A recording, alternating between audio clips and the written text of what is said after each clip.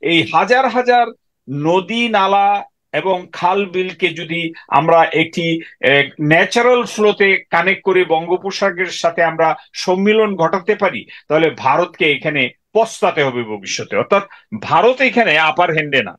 Basically বাংলাদেশের একটা strong একটা পজিটিভ দিক আছে, সেটা হলো আমাদের যে নদী আমাদের যে বেসিনগুলো আছে, আমাদের ক্যাচমেন্ট আমাদের নালাগুলো আছে, আমাদের যে ড্রেনেজ সিস্টেম আছে ফুল সিস্টেমটাকে যদি আমরা কোঅর্ডিনেট করে এবং কানেক্ট করে এটিকে যদি আমাদের যে বঙ্গোপসাগরে নেওয়া যায় তাহলে আমরা রিজার্ভার যেমন তৈরি করে পানি রাখতে পারব, একইভাবে ওভারফ্লো করবে যেগুলা লেকগুলা থেকে ওরা ছেড়ে দিবে, তারা পানি সন্ত্রাস করবে, এটিও চলে যাবে দ্রুত। পলিটিক্যাল মাস্টার যে থাকবে, যেই থাকুক না কেন, এখন ওয়াটার মন্ত্রী যেই থাকুক, তিনি যদি কিছুটা ধারণা রাখেন, তার শুধু যে পলিটিক্যাল যে ডিজায়ারটুকু জাতির, সেটা এক্সপ্রেস করতে হবে based on the expert opinion অর্থাৎ এক্সপার্টরা যে অপিনিয়ন দিবে, তার উপর তারা এটা করবে। এর জন্য ডিপ্লোমেটরা আছে, এর জন্য আমাদের পররাষ্ট্র মন্ত্রণালয় আছে। সুতরাং রিসোর্সগুলো আমাদের আছে, আমরা সেটাকে আমাদের উইল এন্ড ডিজায়ার আমাদের যে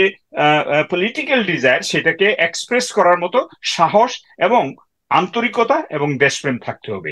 জিও পলিটিক্সে যদি রিজিওনাল বিষয়গুলোকে তুলে আনা হয়, তাহলে সার্কের এক্সাম্পল যেটা সার্কটা ছিল এই অঞ্চলের একটি আঞ্চলিক কোঅপারেশন এবং সার্কটাকে নিরর্থক করে দেওয়ার পিছনে ভারতের ভূমিকা ছিল মুখ্য। তারা এক্সের সাথে বসবে না ওয়াই এর সাথে বসবে না, দ্বিপাক্ষিক বলবে মাল্টি ন্যাশনাল কোনো ইস্যু রাখবে না। অর্থাৎ যত কিছুই বলেন না কেন, এই মোদী সরকার কিংবা ভারতের যে স্ট্র্যাটেজি সেখানে সম্পূর্ণ বড় ভাই সুলভ যে আচরণ, সেটি তার পাশের যত রাষ্ট্র আছে, যতগুলো রাষ্ট্র আছে, কেউ তার আপন নাই। বহির্বিশ্বে তারা জানাতে চেষ্টা করেছে যে বাংলাদেশ তাদের পরম বন্ধু গত পনেরো বছর। আমার এক নেপালের বন্ধু প্রশ্ন করছিল যে আমরা আমরা ভাবতেও আমাদের অবাক লাগে, ভারতের সাথে বাংলাদেশের বন্ধুত্বপূর্ণ সম্পর্ক কীভাবে চলে? তাকে আমি এক ঘণ্টা লাগা, লেগেছে বোঝাতে এবং সর্বশেষ বলেছি এক্সাম্পল হলো, এদেশের নাইনটি নাইন পার্সেন্ট মানুষ ভারতকে অপছন্দ করে, ভারতের অ্যাটিচিউডকে অপছন্দ করে, তাদের অ্যাকশনকে অপছন্দ করে। এবং ভারত সেই সার্কের মাধ্যমে বুঝিয়ে দিয়েছে যে তারা এই আঞ্চলিক কোঅপারেশন বা অন্যান্য দেশের যে কোঅপারেশন সেটি দ্বিপাক্ষিকে নিয়ে এসে এবং ফাইনালি তারা এটিকে অকার্যকর করেছে। সুতরাং এখন আসে নদী শাসনের ব্যাপারে।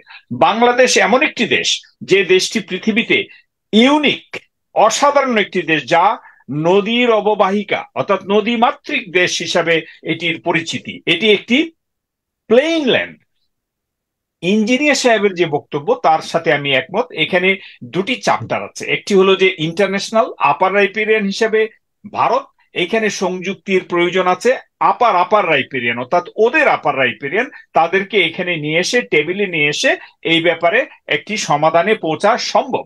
আরেকটি বিষয় হলো যে আমাদের যে বাংলাদেশের যে এই যে শত শত শত শত না, আমাদের বেসিন গুলাকে যোগ করি যদি, হাওর, বিল, খাল, নদী, নালা, সেটি হাজার হাজার। এই হাজার হাজার নদী, নালা এবং খাল বিলকে যদি আমরা একটি ন্যাচারাল ফ্লোতে কানেক্ট করে বঙ্গোপসাগরের সাথে আমরা সম্মিলন ঘটাতে পারি, তাহলে ভারতকে এখানে পস্তাতে হবে ভবিষ্যতে। অর্থাৎ ভারত এখানে আপার হ্যান্ডে না। বেসিক্যালি বাংলাদেশের একটা স্ট্রং একটা পজিটিভ দিক আছে, সেটা হলো আমাদের যে নদী, আমাদের যে বেসিনগুলো আছে, আমাদের ক্যাচমেন্ট আমাদের নালাগুলো আছে, আমাদের যে ড্রেনেজ সিস্টেম আছে ফুল সিস্টেমটাকে যদি আমরা কোঅর্ডিনেট করে এবং কানেক্ট করে এটিকে যদি আমাদের যে বঙ্গোপসাগরে নেওয়া যায় তাহলে আমরা রিজার্ভার যেমন তৈরি করে পানি রাখতে পারব, একইভাবে ওভারফ্লো করবে যেগুলা লেকগুলা থেকে ওরা ছেড়ে দিবে, তারা পানি সন্ত্রাস করবে, এটিও চলে যাবে দ্রুত। যে বিষয়টি মারাত্মকভাবে এই হাওর অঞ্চলের জন্য, যে একটা বিশাল রিজার্ভার, এটি ন্যাচারাল রিজার্ভার হাওর অঞ্চলটা, সিলেট অঞ্চল, এটির জন্য যে অন্তরায় হয়ে দাঁড়িয়েছে, এটি আমাদের বুঝতে হবে যে আওয়ামী লীগ সরকার এখানে একটি তামাশা করেছে, শত মাইল ইয়ে করেছে, একটা নিচে বাঁধ দিয়েছে গভীর জল যেখানে ছিল সেখানে দিয়ে পানি নিষ্কাশনের বা পাসের ব্যবস্থা না রেখে এখানে একটি আর্টিফিশিয়াল বাঁধ, যার ফলে এই এলাকায় যে এখন যে বন্যা হয়, সেই বন্যাটা আরও বেশি মাত্রায় এফেক্ট করে, অর্থাৎ ব্যাডলি এফেক্ট করে। সুতরাং আমি মনে করি যে ইন্টারনাল অ্যারেঞ্জমেন্টে কারও সাথে আমাদের বসতে হবে না, চুক্তি করার দরকার নাই। এইখানে সরকার এবং যারা পানি বিশেষজ্ঞ আছে, তাদের সমন্বয়ে যদি স্ট্রং কমিটি করে স্ট্রং অ্যাকশন প্ল্যানে যে ড্রেজিং আছে কানেকশন আছে, যে বাধাগুলো আছে সেগুলো সরিয়ে দেওয়া, যে ড্যামগুলা তৈরি করে বা এই যে এই যে এই যে এই যে এই যে রাস্তা করা হয়েছে মিঠামইনে, এই রাস্তার মাঝে যদি দশটা সুইচ গেট করতে অর্থাৎ ব্রিজ করা যায়, তাহলে যদি তাই যদি হয় friendly for the water pass তাহলে তাই করতে হবে।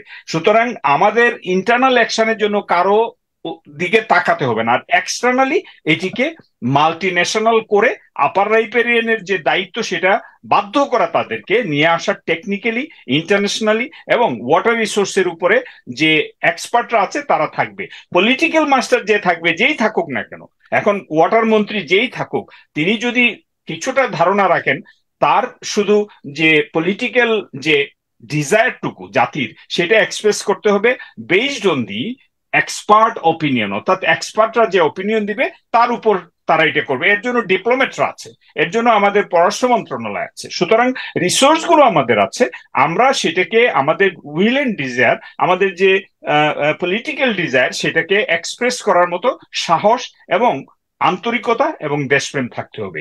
এবং সবশেষে আমি যে বিষয়টা বলছি, আমরা এখানে এই বন্যায় যারা ভিকটিম, তাকে নিয়ে আমরা কিন্তু বলছি না। তাদেরকে এখন রক্ষা করার জন্য, তাদেরকে সাপোর্ট দেওয়ার জন্য, তাদের পাশে দাঁড়ানোর জন্য আমি আন্তরিকভাবে এই মুহূর্তে রাইট নাও সারা পৃথিবীতে যে দেড় কোটি এই মুহূর্তে ফিফটিন মিলিয়ন যে প্রবাসী আছে, তাদেরকে আমি আহ্বান জানাচ্ছি, আপনারা কিছুদিন আগেই, তিন, চার সপ্তাহ আগে রেমিটেন্স বন্ধ করেছিলেন, আজকে আমি আহ্বান জানাচ্ছি, আপনাদের রেমিটেন্স বাড়িয়ে দিন এবং ব্যাপকভাবে তাদের পাশে দাঁড়ান। আপনারা যে যেখানে আছেন, দেশে, বিদেশে, আপনারা পাশে দাঁড়ান এবং তারা এখন সাফারার, তারা ভিকটিম, তাদের পাশে দাঁড়ানো এখন। আমাদের দায়িত্ব পানি নেমে গেলে তারপরে short term long term plan সেটি সরকার করবে। ধন্যবাদ।